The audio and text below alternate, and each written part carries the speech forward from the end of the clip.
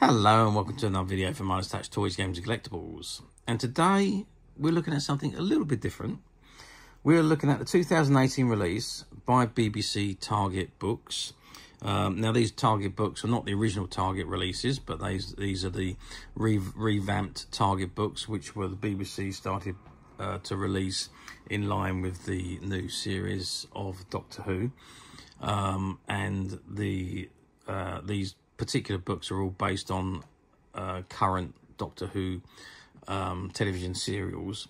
And this particular one we were looking at today uh, is Twice Upon a Time, which was the Christmas uh, episode, which featured the 12th Doctor and the um, First Doctor. Okay, so this, and there's a particular reason why I wanted to do this one today. Um, that some of these novels I don't actually, we don't actually usually um, shoot videos for and upload because you, you, can't really see a great deal of the novels. Um, but there's a particular reason why I decided to do this one, and we'll see as we as we move on. So it says Doctor Who: Twice Upon a Time by Paul Cornell, and you've got the Target logo at the top right hand corner. And there you can see an image of the 12th Doctor as portrayed by Peter Capaldi. And uh, you've got Bill Potts just below him. And to the right, you've got uh, the First Doctor um, as played by David Bradley. Because uh, obviously William Hartnell passed away uh, back in the 70s. Okay, so that's the front of the book. Let's just turn the book over. And on the back, this is what it says. It says, Silly Old Universe. The more I save it, the more it needs saving. It says, still reeling from his encounter with the Cyberman, the first Doctor stumbles through the bitter Arctic wind, uh, resisting the approaching regeneration with all his strength. But as he fights this his way through the snowdrifts, he becomes he comes across the familiar shape of a blue police box and a mysterious figure who introduces himself as the Doctor. Thrown together at their most vulnerable moments, the two doctors must discover why the snowflakes are suspended in the sky, why a First World War captain has been lifted from his time stream moments before his death, and why is the mysterious glass woman who knows their true name. Who is the mysterious glass woman that knows their true name? This novel is based on a Doctor Who story, which was originally broadcast on 25th of December 2017, featuring the 12th Doctor as played by Peter Capaldi and the first Doctor as played by David Bradley. Um, and it's got the UK price, uh, cover price of £6.99, US 9.99, Canada 14.99. It's science fiction based. BBC Books and it's penguin.co.uk and you've got all the copyright information at the bottom and the barcode. And if we just turn the box, the book to the side, it says Doctor Who Twice Upon a Time by Paul Cornell and BBC Books. Okay, so that's the outside of the book. So I'll just open the page up. And this is a particular reason why I wanted to do this one. Because you can see um, it's actually got on here, Hi Joey, and it's autographed by Paul Cornell, the author. So this was the only reason why I actually wanted to do this a video on this particular book. Um, not to mention the fact that it's a very, very good story as well. So, uh, but anyway, it says so. It says Doctor Who, Twice Upon a Time, and it says the changing face of Doctor Who. The cover illustration portrays the first Doctor Who, whose physical appearance was later transformed when he discarded his worn-out body in favour of a new one. Therefore, his features are in a state of flux. It also portrays the 12th Doctor, with whose physical appearance was changed when he was granted a new regeneration cycle by the Time Lords. And there we say, hi Joey, um, Paul Cornell. So, turn it over again. Doctor Who, Twice Upon a Time, based on the BBC television serial adventure Twice Upon a Time by Steven Moffat. And the novel is by Paul Cornell at BBC Books there.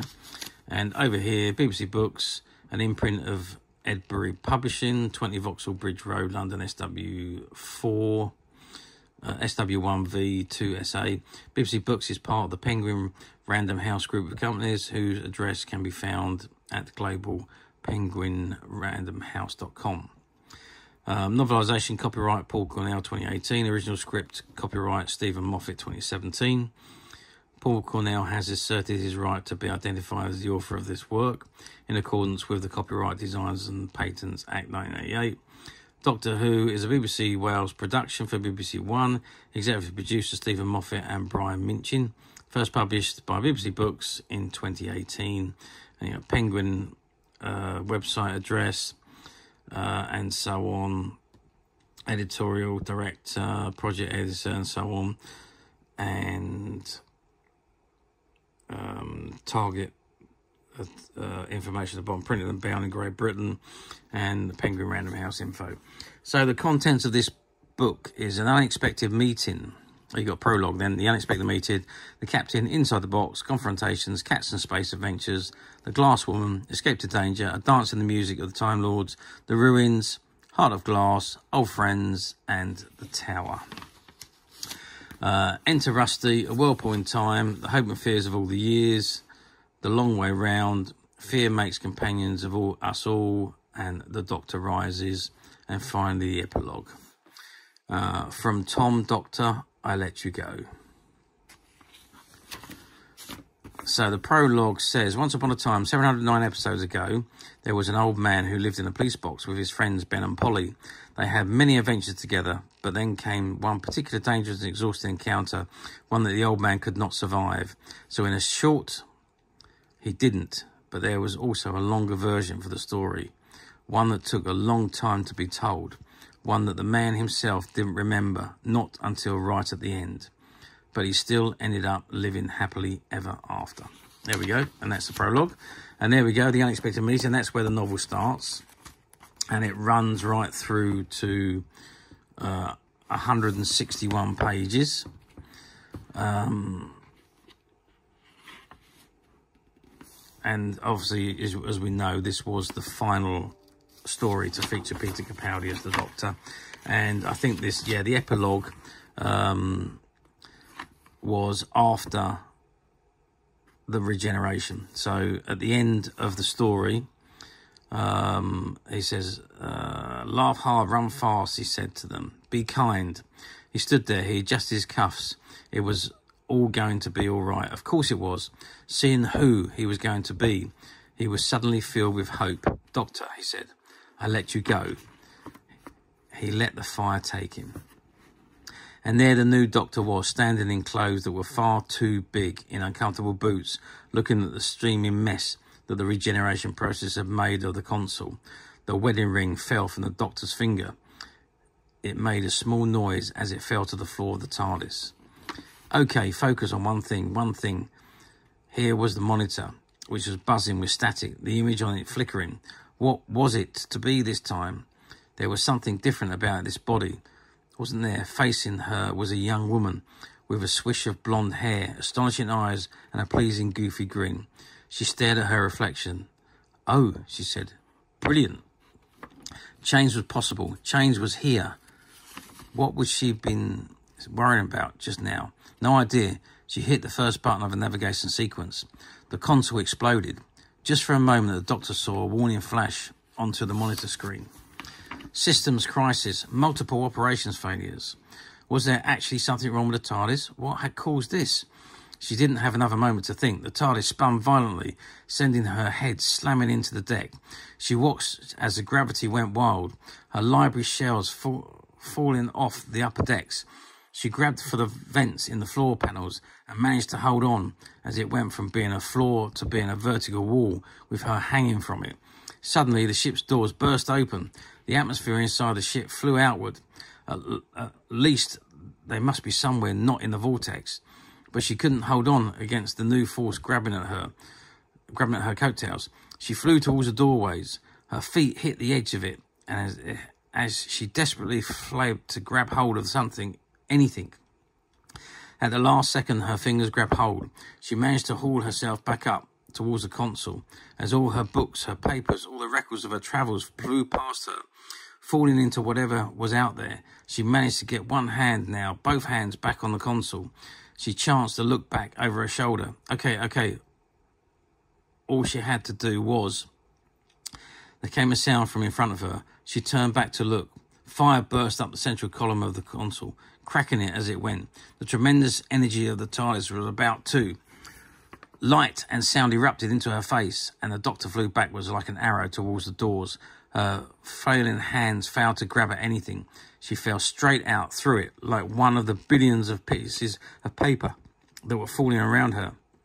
Behind her, through the police box doors, she saw a fireball erupting, consuming everything inside. The light on the top of the box began to flash urgently, and the sound of the TARDIS departure roared before the blast could keep leap out of it and consume her. Consume everything. The TARDIS vanished. The doctor fell, arms cartwheeling below her. As she spun, she saw the lights of a city at night. It was just her now in the terrifying second, without a TARDIS, falling from what must be several thousand feet towards a completely unknown destination, towards her future. So that was the end of the Capaldi era. Um, and it started the uh, era of Jodie Whittaker as the Doctor, um, which ran, I think she was the Doctor for four, uh, roll right up to 23 actually.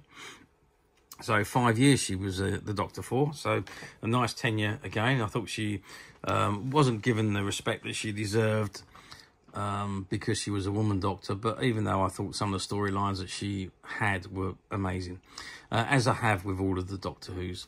Uh, but as I say, the reason I wanted to do this one was because it is actually autographed by Paul Cornell, uh, the author of this um, Target novelisation.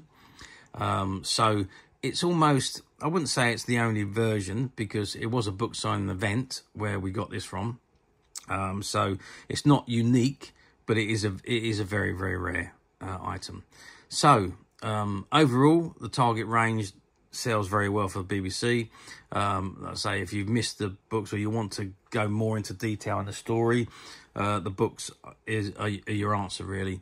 The, the TV serials are, are, condensed into the time frame that they have to um, run, but the books is pretty much unlimited, and your mind is has no restrictions on the story. As you read, you picture it in your mind. So um, there's no budget restraints or anything like that. But yeah, the book sold very, very well, and they continue to do so with all the new novelizations that are coming out. Um, and like I say, finding this one with the uh, autograph on, they're going to be few, very, very few and far between. But as usual, we at Midas Touch have managed to find a few, and they're currently available to purchase on the Midas Touch website which you can get to quite simply by clicking the link below. It will take you straight to the website where you'll be able to find this and many other Doctor Who items and many other vintage toys, games and collectibles come to that. It's over 10,000 products currently available on the website for you to view and purchase at your leisure. And don't forget to hit the subscribe button because we're uploading videos for every new item that goes into the website. There will be something for everybody. And I am absolutely positive you won't want to miss this because we literally have thousands and thousands of new products which we're shooting videos for and uploading on a daily basis. So if there's something in particular you're looking for, something old that you've never been able to find, something quirky that you might want to buy for a friend, or maybe just something from your childhood that you'd like to own again to help you recuperate those long lost childhood memories. Well, stay tuned, keep watching, because you never know the next item we upload could be that item you've been looking for. Okay, that is it for me on this particular item. I do hope you've enjoyed this very short video. Thanks for watching, and we will see you again soon.